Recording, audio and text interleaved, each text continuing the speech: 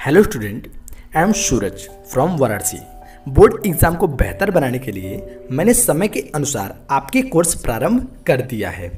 सबसे पहले आप हमारे चैनल को सब्सक्राइब करें और बेल आइकन को प्रेस करें ताकि मैं जो वीडियो आपको दूँ, उसकी सूचना सबसे पहले आपको मिल सके।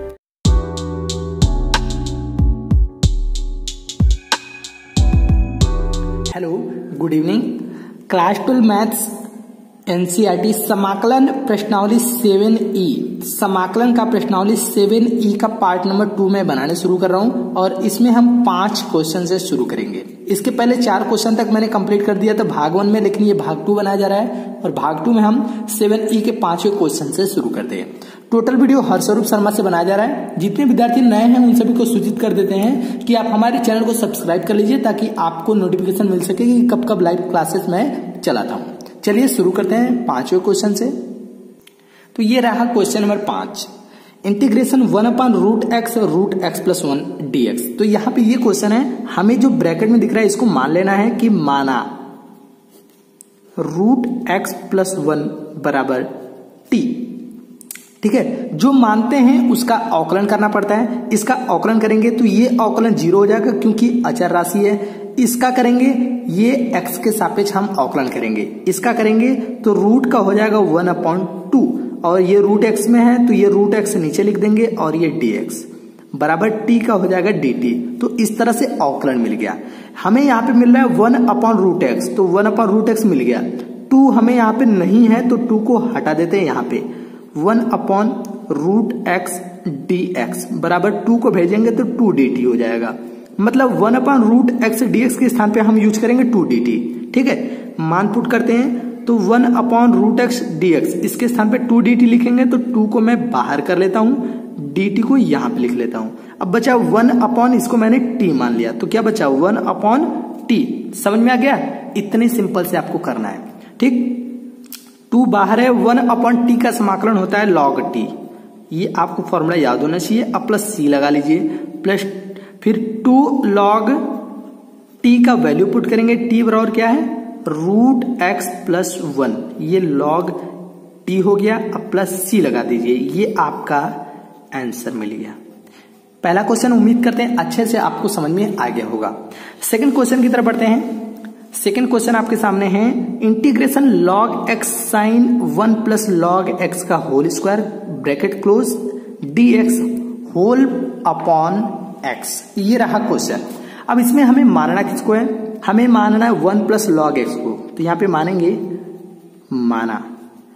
वन प्लस लॉग एक्स का whole power two equal to t इसको मैं टी मान लिया, जो कि यहाँ पे टोटल ब्रैकेट में दिख रहा है, मैं इसको मान लिया, ठीक है? इसका अवकलन करेंगे तो ये तो ज़ीरो क्योंकि अचर राशि है, ये टू आगे आ जाएगा तो यहाँ पे हो गया टू लॉग एक्स फिर इसके बाद लॉग एक्स का अवकलन करेंगे तो वो हो जाएगा वन अपॉन एक्स तो ये हो गया two log x one upon x d x बराबर टी का हो जाएगा डी टी इस तरह से मिल गया। अब हमें चाहिए क्या? हमें चाहिए log x अपॉन एक्स देखिए, log x अपॉन एक्स चाहिए तो टू को हम भेज देते हैं, ठीक है? तो लिखेंगे log x upon x d x बराबर डी टी और ये टू को नीचे भेजेंगे डी टी बाई टू इस वैल्यू को हम इसमें पुट करते हैं। ये डी टी बाई टू का मतलब वन अपॉइंट टू को बाहर करेंगे। इसके बाद क्या वैल्यू बचा है? इसके बाद साइन इसको मैंने टी मान लिया तो ये हो जाएगा साइन टी और यहाँ पे डी टी। क्लियर है? अब देखिए। One upon two sine t का समाकलन करेंगे तो वो होता है माइनस कॉस टी तो माइनस को बाहर लिखेंगे कॉस टी प्लस सी लगा लीजिए क्योंकि मैंने इंटीग्रेशन कर लिया। आगे minus one upon two cos t का वैल्यू रखना है जो कि था वन प्लस लॉग एक्स का होल स्क्वायर ये था ब्रैकेट में कर लेते हैं प्लस सी कर लीजिए तो ये आपका आंसर मिल जाएगा। ठीक है? सेकंड क्वेश्चन भी समझ में आ गया। चलिए देखिए अगला। देखिए क्वेश्चन नंबर सेवन में लिखा है integration x root one plus two x square ये क्वेश्चन है। हमें इसमें one plus two x square जो दिख रहा है, इसको हम मान लेते हैं कि माना one plus two x square is equal to t ये मैंने टी मान लिया। अब यहाँ पे ये वन ज़ीरो हो जाएगा और ये दो दूनी के चार एक्स डी एक्स इसका अवकलन कर लिया और यहाँ पे डी टी तो हमें केवल x चाहिए। तो हम x को लेंगे और यहाँ पे dx भी रहेगा क्योंकि इंटीग्रेशन में कर रहा हूँ। तो x dx चाहिए फोर नहीं चाहिए। तो फोर को उधर भेजते हैं। क्या मिल जाएगा? x dx is equal to d t by four इन दोनों का मान इसमें पुट कर लेते हैं। इंटीग्रेशन वन अपॉन फोर को बाहर करेंगे। X dx के स्थान पे dt यूज़ करेंगे और इसके स्थान पे हम टी यूज़ करेंगे। तो क्या हो जाएगा? रूट टी है ना? रूट अंदर मैंने टी मान लिया है तो ये टी और ये dt इस तरह से हो गया। अब इसका इंटीग्रेशन करेंगे। तो इंटीग्रेशन करने से पहले इसको हम टी के पावर वन पॉइंट टू करेंगे। रूट का मतलब वन पॉइंट टू फिर वन अपन फोर अब इसका इंटीग्रेशन करेंगे तो ये टी के पावर वन पॉइंट टू था। एक जोड़ दीजिए उसमें। फिर वन पॉइंट टू में एक जोड़ दीजिए प्लस सी कर लीजिए। ठीक है? अब देखिए टी के पावर वन पॉइंट टू अब प्लस वन है। इसको जब सॉल्व करेंगे तो पावर तीन बटे दो हो जाएगा। और टी का वैल्यू भी रखना है तो टी बराबर मैंने माना था one plus two x square ये मैंने टी बराबर माना था। उसकी पावर इसको दो एक कम दो एक तीन बटे दो। तीन बटे दो। नीचे भी हो जाएगा तीन बटे के दो प्लस सी ये दो ऊपर चला जाएगा, दो बटे के चार तिया के बारह हो जाएगा। ठीक है? तो बारह करने से पहले दो से हम इसको कैंसिल करेंगे। चार तीन दूनी के छह हो जाएगा। तो अब लिखेंगे वन अपॉन सिक्स ब्रैकेट में one plus two x square के पावर तीन बटे दो और प्लस सी ये आपका आंसर मिल जाएगा। ठीक है? चलिए क्वेश्चन एट देखिए। देखिए इस क्वेश्चन में लिखा है integration d x upon cos square x bracket में वन माइनस टेन एक्स ये क्वेश्चन है। अब इसमें हमें करना क्या होगा? सबसे पहले तो ये बात उठती है तो one upon cos square x इसको हम ऊपर भेजेंगे तो वो सेक स्क्वायर हो जाएगा। ठीक है? लिखेंगे sec square x d x upon इसको, ये जो बचा इसको लिख लेते हैं वन माइनस टेन एक्स इतना तो आपको समझ में आ गया कि one upon cos square x को हम त्रिकोणमिति के सूत्र से चेंज करेंगे तो वो इस तरह से मिल जाएगा। अब नीचे जो वैल्यू बचा है वन माइनस टेन एक्स इसको हम मान लेते हैं टी ठीक है? अब यहाँ पर ये ज़ीरो हो जाएगा। अब माइनस टेन एक्स का अवकलन क्या होता है? वो होता है माइनस दो छोड़ दिए।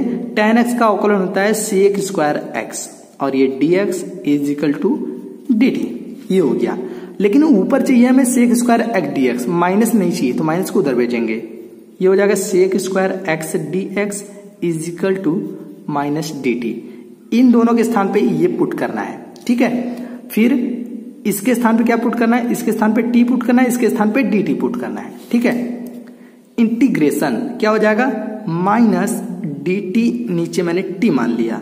तो minus integration d t by t अब वन अपॉइंट टी का इंटीग्रेशन करते हैं तो वन अपॉइंट टी देखिए यहाँ पे यहाँ पे दो कंडीशन में आप कर सकते हैं। पहला कंडीशन ये है कि वन अप सॉरी यहाँ पे मैं कहीं मिस्टेक कर रहा हूँ।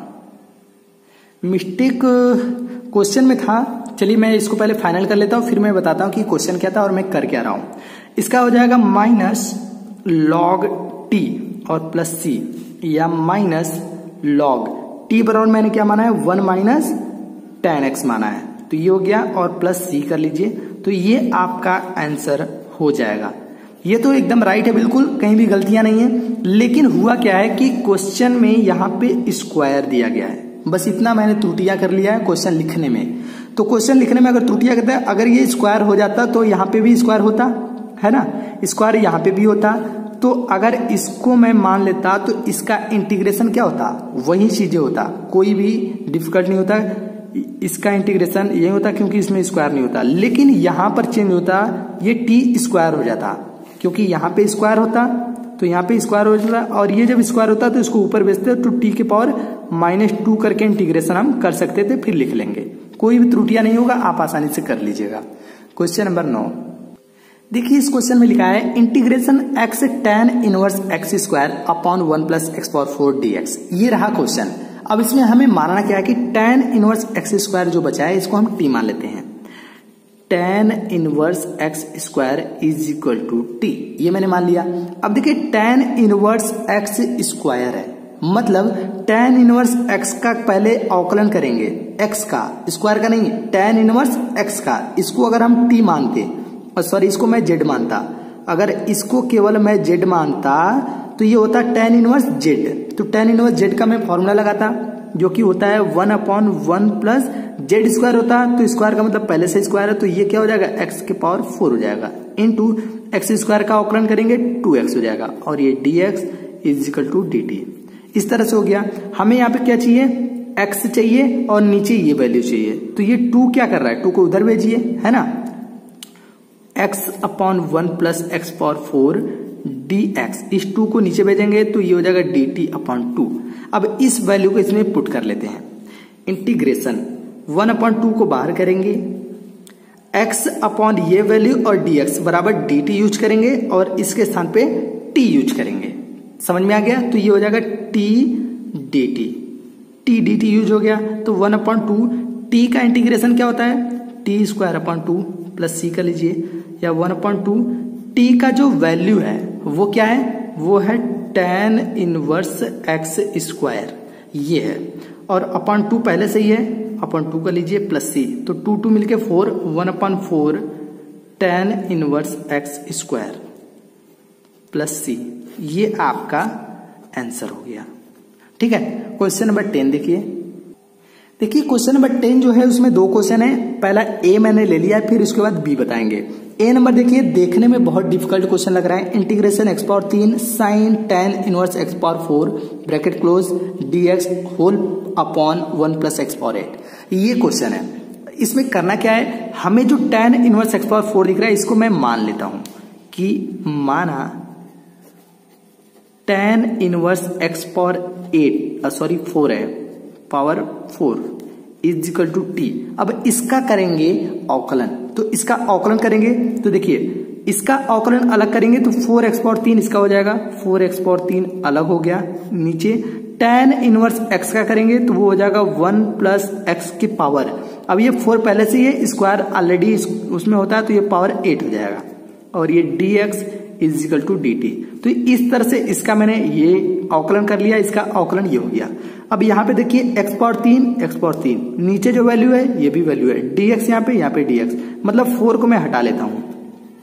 एक्स पावर तीन बट्टे one plus x power eight d x बराबर डी टी बाई फोर ठीक है? अब मैं मान को पुट करता हूँ। तो वन अपॉन फोर को बाहर करेंगे, ऊपर हो जाएगा साइन टी डी टी इस तरह से ये हो जाएगा। ठीक है? तो one upon four sine t का समाकलन होता है माइनस कॉस टी तो ये हो गया प्लस सी या minus one upon four cos t का वैल्यू यहाँ पे रखेंगे, जो कि है टेन इनवर्स एक्स की पावर फोर ये टी का वैल्यू प्लस सी लगा दीजिए, आपका आंसर मिल जाएगा। चलिए बी देखिए। तो बी नंबर क्वेश्चन में लिखा है integration d x upon x square cos square one upon x ये क्वेश्चन है। अब यहाँ पे देखिए करना क्या हमें। एक्स स्क्वायर को छोड़ देते हैं cos square one upon x को ऊपर भेजते हैं। जब ऊपर भेजेंगे तो वो सेक में चेंज हो जाएगा। Sec square one upon x और नीचे क्या बचा? एक्स स्क्वायर और ये डी एक्स समझ में आ गया? One upon cos square x को ऊपर भेजेंगे सेक स्क्वायर एंगल वही है सेम का सेम एंगल है, और स्क्वायर ये छोड़ दिया। ठीक है? अब यहाँ पे वन अपॉन हम क्या मानेंगे? ये जो एंगल वन अपॉन एक्स है वन अपॉन एक्स को मैं टी मान लेता हूँ, इसके एंगल को। ठीक है? मैं मान लिया, अब यहाँ पे इसका करेंगे अवकलन। तो वन अपन एक्स का अवकलन हो जाएगा minus one upon x square क्योंकि पहले इसे ऊपर भेजेंगे एक्स पावर माइनस वन हो जाएगा। उसका करेंगे तो माइनस आगे और पावर माइनस टू हो जाएगा और माइनस टू को नीचे भेजेंगे प्लस टू ठीक है? और डी एक्स बराबर टी का हो जाएगा डी टी तो इस तरह से मिल गया। हमें नीचे एक्स स्क्वायर चाहिए, लेकिन माइनस नहीं चाहिए। माइनस को उधर भेजते हैं। तो ये हो जाएगा one upon x square d x is equal to minus d t. ये हो गया। इसका मान हम इसमें पुट कर लेते हैं और देखते हैं क्या आएगा। Sec square one upon x बराबर मैंने क्या माना है? टी माना है। तो ये हो जाएगा टी। और नीचे one upon x square d x बराबर क्या माना है? Minus d t. तो माइनस को बाहर करेंगे और ये डी टी। तो माइनस सेक स्क्वायर टी का समाकलन होता है टेन टी। तो ये हो गया टेन टी प्लस सी या माइनस टेन टी का जो मैंने मान माना था, वो था one upon x plus c कर लीजिए। ये आपका आंसर मिल जाएगा। तो उम्मीद करते हैं आज के लाइव सेशन में आपको समझ में आया। आज का लाइव सेशन बस इतना ही चलाया जाएगा क्योंकि प्रश्नावली सेवन ई पूरी तरह से खत्म कर दिया गया, इसलिए मैं यहाँ पे समाप्त कर रहा हूँ। अगर इसमें और भी क्वेश्चन होता तो मैं खत्म करता, लेकिन दस ही क्वेश्चन है, दस में ए बी दो क्वेश्चन था, दोनों को मैंने बता दिया। अब इसके आगे जो प्रश्नावली है वो सेवन एफ़ है। इसलिए मैं लाइव सेशन को यही पे एंड करता हूँ। कल के लाइव सेशन में मैं सेवन एफ़ को पहला भाग बताना शुरू करूँगा। मिलते हैं अगले लाइव सेशन में। तब तक के लिए जय हिंद। जय भारत